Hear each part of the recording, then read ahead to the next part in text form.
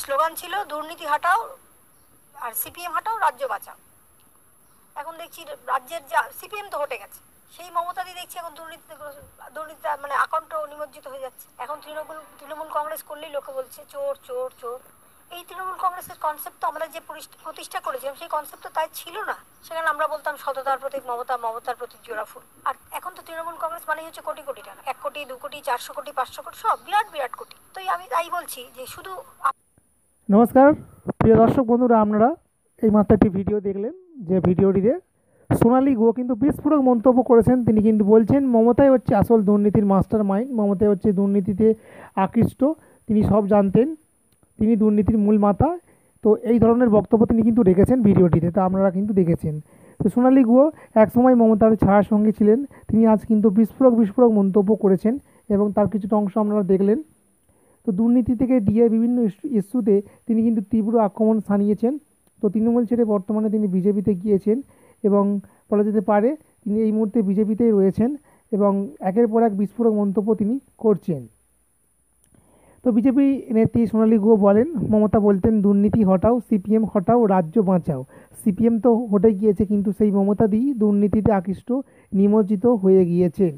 মমতা বন্দ্যোপাধ্যায়ের একদা সর্বক্ষণের সঙ্গী ছিলেন তিনি।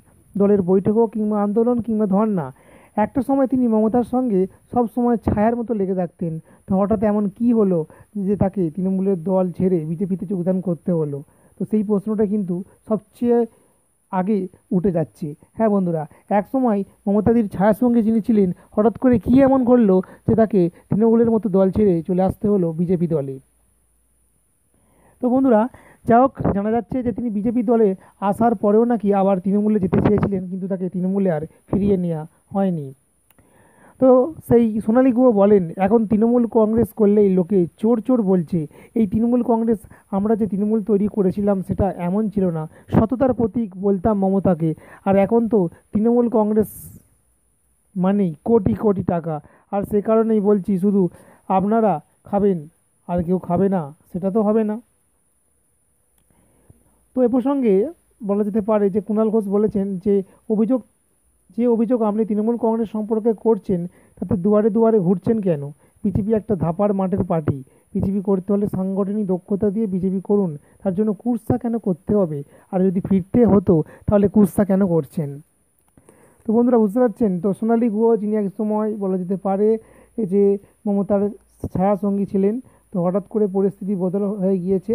তো এই মুহূর্তে তিনি বিজেপিতে রয়েছেন। আর বলা যেতে পারে কিন্তু তিনি ভয়ঙ্কর ভয়ঙ্কর মন্তব্য করছেন। তার একটা ঝলক আমরা দেখলেন। বন্ধুরা, এ ব্যাপারে আপনাদের কি মতামত? অবশ্যই কমেন্ট সেকশানে কমেন্টস করতে একেবারেই ভুলবেন না।